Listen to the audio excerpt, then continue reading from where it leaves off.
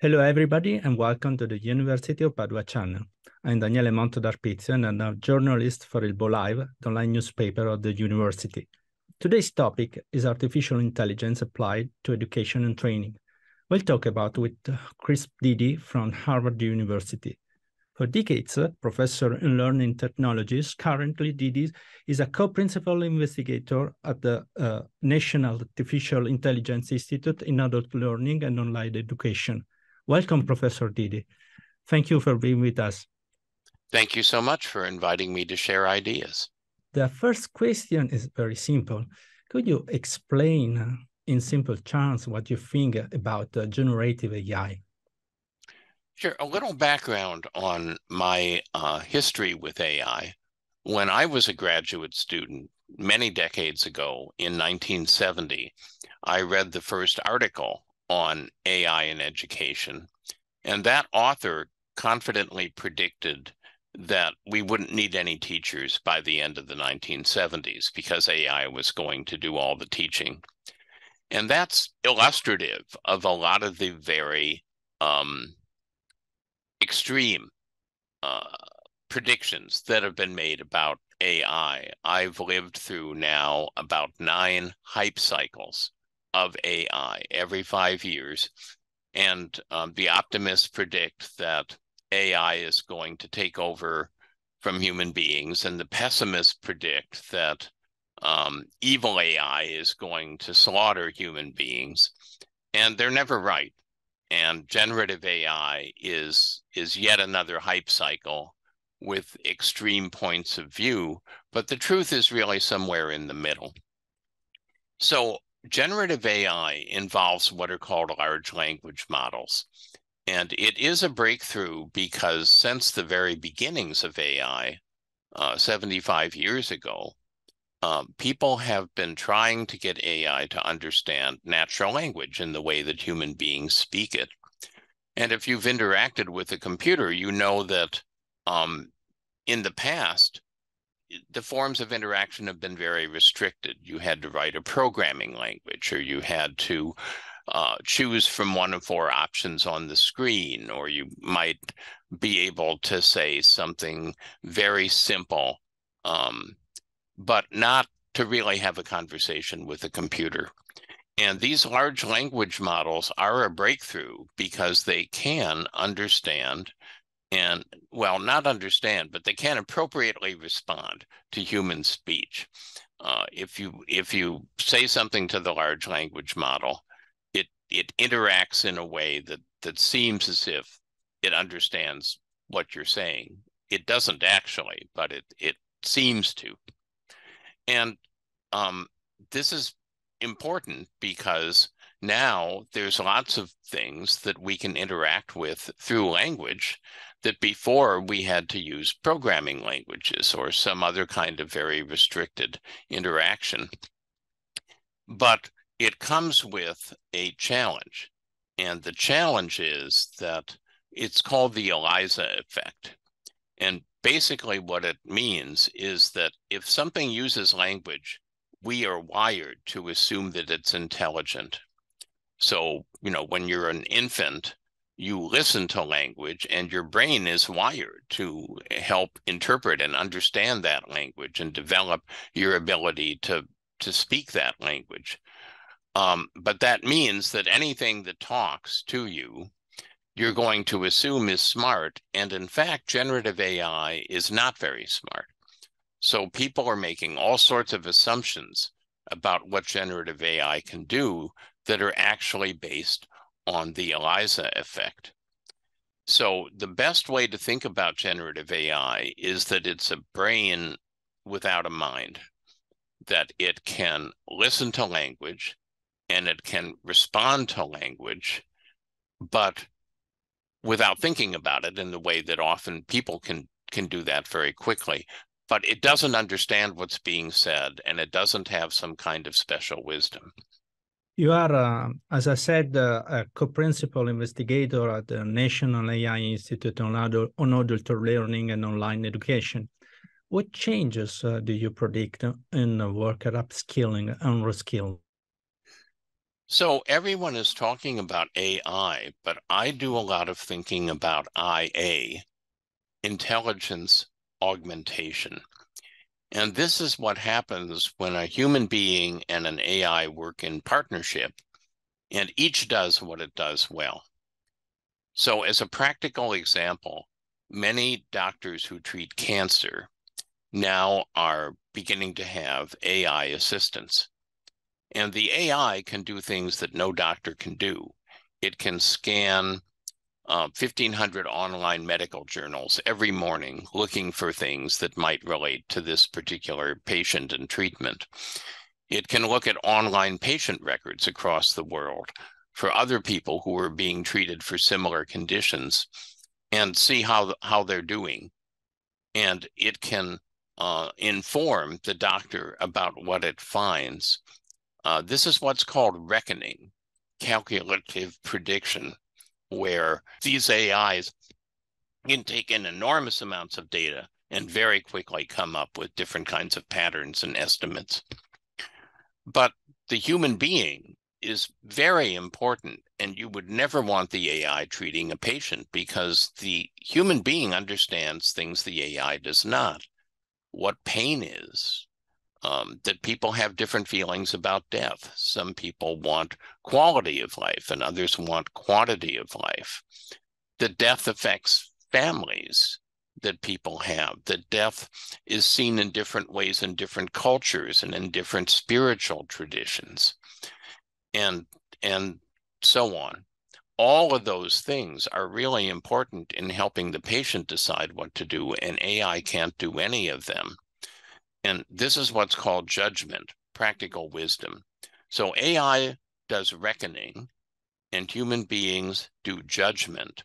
And when both are done well and complement one another, then you have IA, intelligence augmentation. So current estimates are that within the next, say, um, 10 years, that most jobs will have AI partners. Most jobs will involve um, IA, and that we need to prepare human beings more for judgment and less to do reckoning because the AI is going to do that. So that's the kind of upskilling and reskilling that we think a lot about in this National Institute I'm part of on adult learning and online education. And what about uh, teaching and learning? Is AI going to change university teaching and learning and how? There's um, several ways in which AI is going to affect university teaching and learning. One of them is that groups like the Institute that I'm part of are developing AI assistants for university faculty members. So IA uh, is going to affect university faculty.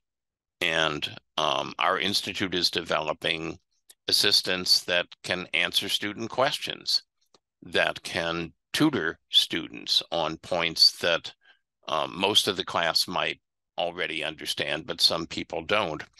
There are library assistants, there are laboratory assistants, there are social assistants that in a large class can help students find another student who might be a good learning partner. And so you can imagine me as a professor surrounded by these AI agents doing parts of the job that I used to do.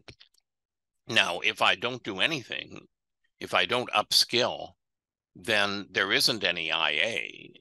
In fact, I'm de-skilled by the AI taking over parts of the job.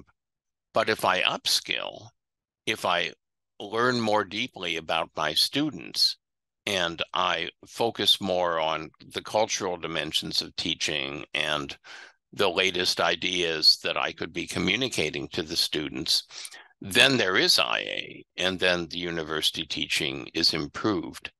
So one impact is assistance that aid instruction.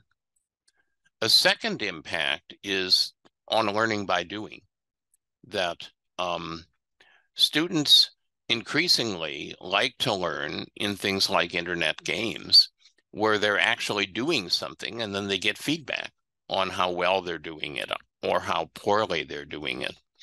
Here at Harvard, uh, we are using um, AI agents in a French class.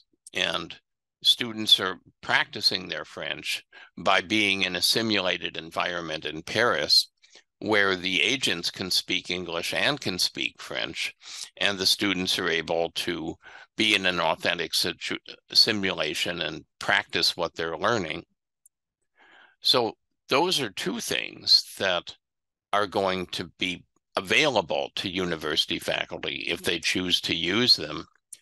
But the really big impact is that we need to prepare students less to do reckoning and more to do judgment. In other words, we're changing the outcomes of education, not just the processes of education. Um, and an, an illustration of this problem is that universities, including Harvard, are basing their their value on how well students do on high stakes tests of different kinds. But the high stakes tests uh, are all reckoning. AI agents do really well on the high stakes tests. So we're preparing students to lose to AI when we should be emphasizing judgment and preparing students to do better with AI. Um, can generative AI give educators uh, more time to focus on student experience? I think that that one of the biggest impacts of generative AI, if it's used well, if it's used for intelligence augmentation, is that professors can focus more on the things that human beings do that AI cannot understand. And the cancer specialist that I talked about earlier is an example of this. The cancer specialist can focus more on a particular patient, understanding their family, understanding their culture, personalizing the advice that's given. And the same thing is is true for students. That students um, are are nervous because they're graduating into a world of AI. They're not sure what jobs will be available for them. They're not sure what what skills they're going to need to be employable.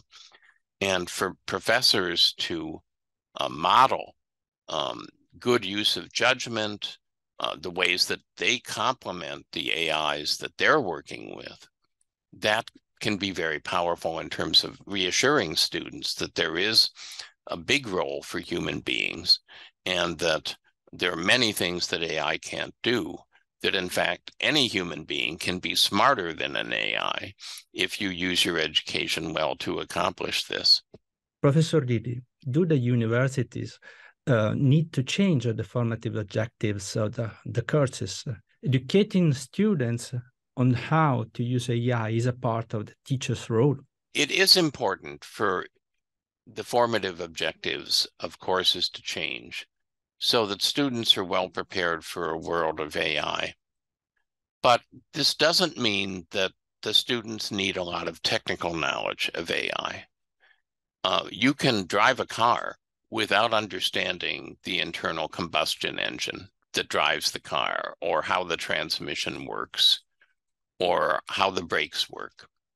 But uh, what you do need to do to drive a car is to know how to use all those things well in the real world.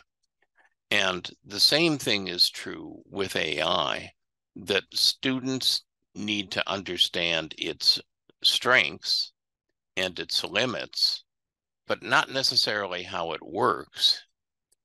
Mainly, they need to understand that learning in learning, the destination is not the end of the journey.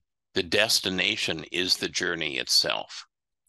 So if you're learning to write, we ask students to produce essays, or if you're in marketing, to produce a marketing plan, or if you're in computer science, to produce a program, or if you're in art, to produce a painting.